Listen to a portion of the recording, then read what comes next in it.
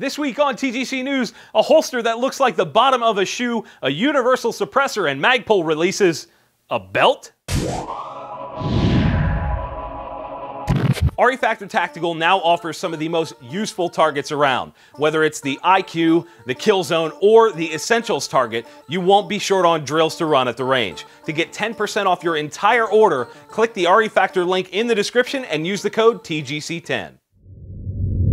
Welcome back. My name is Jon Patton, and before we get started, I want to give you guys a heads up. My buddies at Four Guys Guns have partnered with a whole bunch of companies to do this freaking huge giveaway with like 60 grand worth of guns, gear, and training, and uh, it's, it's going to be awesome. For the relevant info on that, go to fourguysguns.com slash giveaway. They don't actually know I'm going to plug that, so go check it out, guys. Now, this week's first story is about Magpul, best known for their industry standard PMags and other injection molded gun accessories, Magpul has decided to step into a market that no one expected from them belts.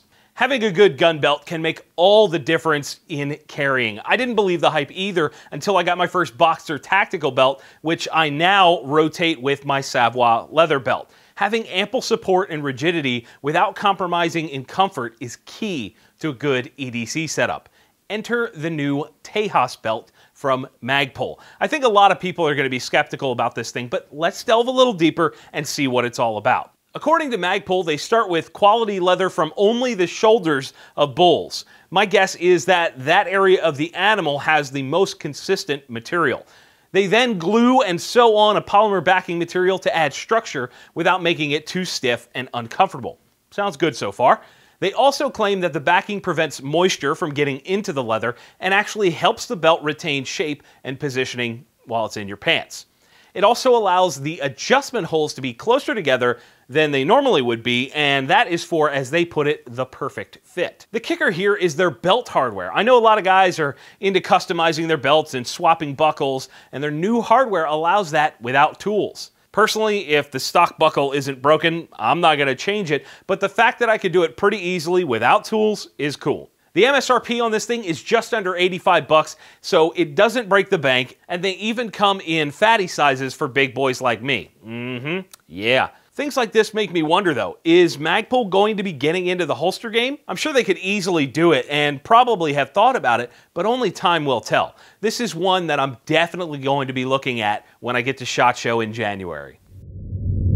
And in Universal Suppressors are the new Flat Dark Earth news, Griffin Armament has released a new suppressor called the Optimus. For my days behind a gun store counter, one of the biggest complaints I heard about suppressors was that you can't use one can on all your guns. Sure, you could use a 30 cal on a 5.56, but you couldn't use that on a 9mm handgun. A lot of that has to do with people not wanting to spend thousands of dollars on multiple cans for every caliber they shoot.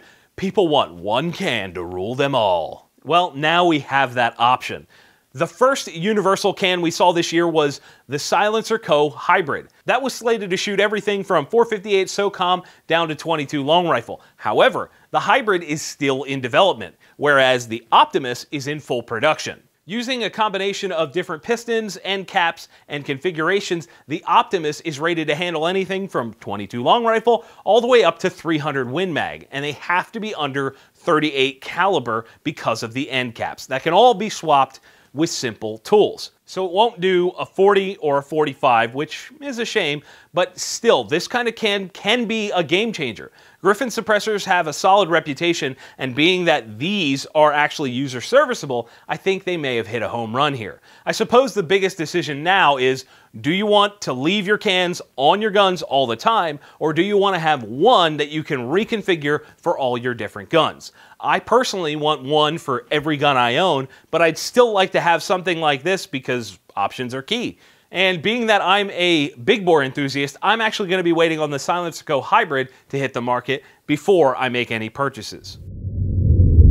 This next product was something I posted on the TGC Facebook page and got enormous response from, so I wanted to talk about it here on the show. It's called the Urban Carry Holster. The idea here is that instead of having the gun on your waistline, you use this holster to deep conceal it down inside your pants. They claim that the gun, because it's below the waist, doesn't jam into your sides or your tactical muffin top and is way easier to conceal. That logic isn't flawed. Here's a quick demo from their overview video. With any holster, speed is important. Whether you have a 40, a revolver, a 380, a double stack, as you can see, it attaches to the belt like normal, and the top is actually held closed with magnets. Using the same motion you would to clear a cover garment, you pull up and the gun gets exposed for use. Honestly, the idea is pretty slick. I say the idea is slick because I find it hard to believe that this would work in every carry position around your waist, let alone all body types. There are a lot of fluffy gun owners, and I know for a fact that they won't be able to operate this thing without having a hernia. It'll be like, eh, eh, just like that. It'd be ridiculous. Just like that. And let's also talk about the fact that this would require a lot of training to get used to because it's so different than most other holsters. Not that it's a bad thing to be different, it's just something to understand when buying a product like this. I think that this is really designed for the type of person that wants to carry to the office without being spotted by Janet in accounting and fired for being prepared to defend themselves. What do you guys think? Would you buy one of these?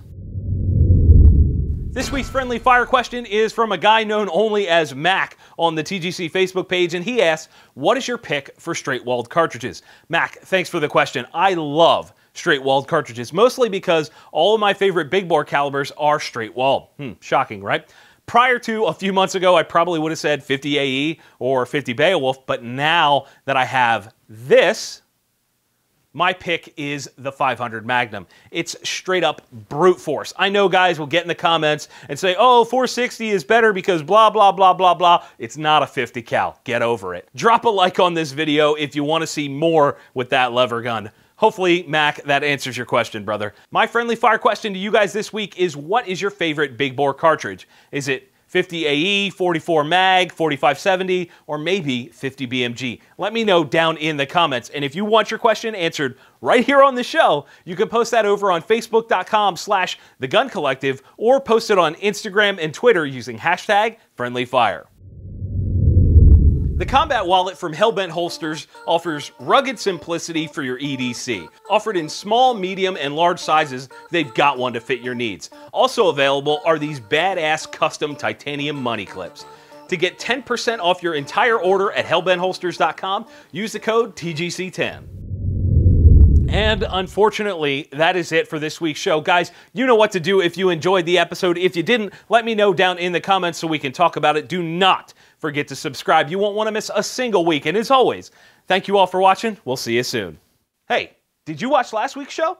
Or maybe the one before that? And did you subscribe yet? You need to do that. Click right here to subscribe. Do it now.